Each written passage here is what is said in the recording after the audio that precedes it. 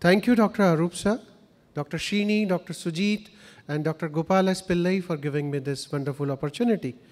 So I will be speaking on our two innovations for, a, for the paradigm shift in the cataract surgery. So as we all know that Argentinian flag sign is a self-propagating radial extension of the anterior capsular tear, which typically arises instantly after an initial prick with a sharp hypodermic needle or a sharp tip rhexis forceps.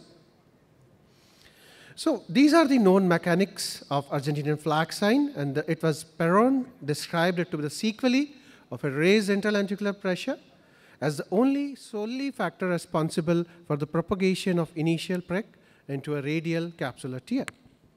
So what happens? Posterior to anterior compartment pressure, high pressure in the anterior compartment, propelling the posterior compartment, and there is followed by forward thrust of the nucleus. And as per their studies, Argentinian flag sign was the most common complications for the intumescent type of pearly white mature cataracts. So what is not known that it is the linear cuts that easily opens up and it rapidly radializes to the periphery, resulting into this Argentinian flag sign. So there are many techniques like the small needle aspiration technique. It involves pricking the anterior capsule with a sharp 26 gauge hypodermic needle, followed by simultaneous aspiration of liquefied cortical matter to decompress the bag. Quite often, peripheral extension of the capsular tear commences instantly after pricking the anterior capsule. And it's, it's, uh, the extension is there even before the liquid cortex aspiration is even initiated.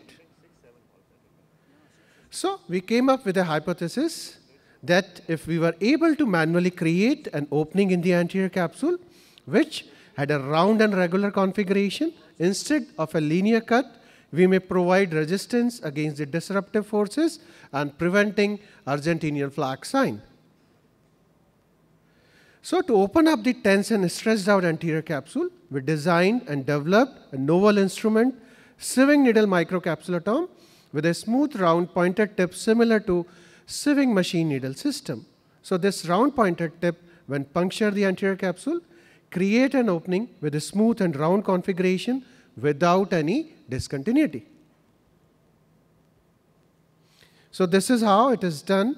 This round hole microcapsulotomy with round regular configuration provide greater resistance against the disruptive forces and this liquefied cortex, it just gushes out like a volcanic eruption and it decompresses the bag without propagating a radial extension of the tear. Now you can see in the enlarged, this is very round and regular opening is there. And then using this micro capsulorhexis forceps or Utrata forceps, an intended 5 to 5.5 millimeter of rhexis can be completed without any problem. Regarding the chopping technique of the hard nuclei, so we require a technique having minimum chattering, no turbulence, and ergonomic friendly towards the endothelia. So we have developed this terminal chop technique that has least stress in such hard cataract and least stressful for the zonules. So how it is different with the other techniques? In the terminal chop technique, instrument tip move away from each other at the equator and there is only superficial impalement of the phaco probe as well as the chopper and they are plane, they are lying parallel to the iris plane. So it propagates the initial crack into a full thickness fracture in low compressive stress. Whereas in the horizontal chop, the instrument tip move towards each other in horizontal plane at the equator with deeply impaled phaco probe and is directed towards the optic disc. Whereas in vertical chop, the instrument tip move towards each other in the vertical plane and the sharp chopper direction is towards the optic nerve. So this tool, it creates with a blunt olive tip, it creates a shallow groove with the specially designed chopper that is terminator by Dr. Rajendra Prasad by keeping the chopper in a lateral position and phaco probe only superficially impaled. Now you can see it is based on the Griffith's theory of brittle fracture. It is a blunt olive tip, so avoid damage to PC and this chisel triangular at 75 degree is there in the middle part that creates the drag and consonant forces. So this is a small video in a cataracta nigra case. We can't get much harder than this, right?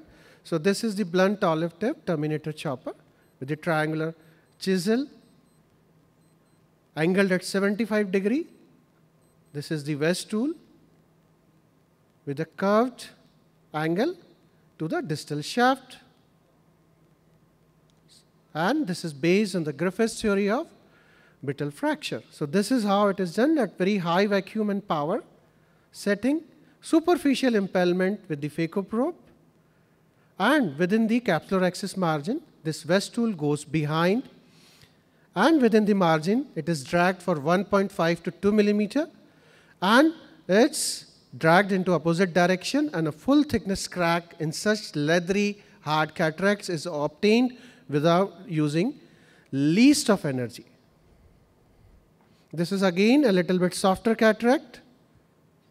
In this, AC was shallow, so we did the sculpting and then only superficial impalement and this tool goes behind terminator chopper. It's dragged and you can see a full thickness crack from this equator to the opposite equator.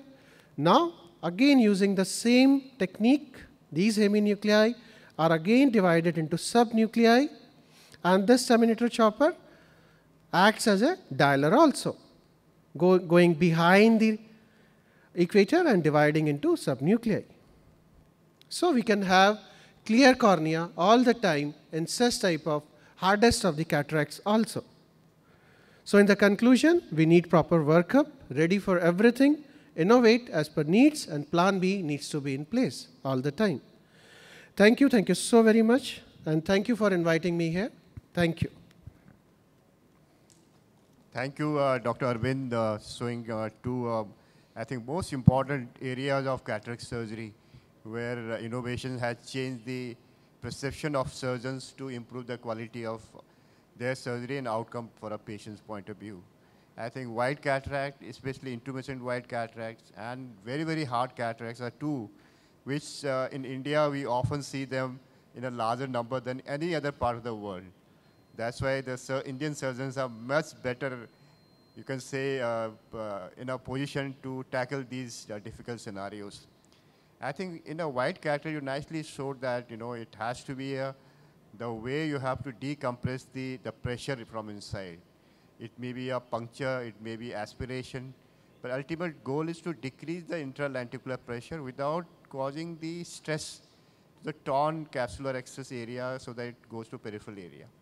So beautifully described by many, many people how to handle these cases. And you beautifully described both of them, Arvind, very nicely. And Thank you, sir. Thank you so very much. also beautiful surgery. I think uh, Dr. Rajendra Prasad had done wonderful work in these areas. And uh, as far as I'm concerned, I always tell the younger people to examine your patient properly. Look for a, the type pattern of a morphology of cataract, any cataract, then plan your surgery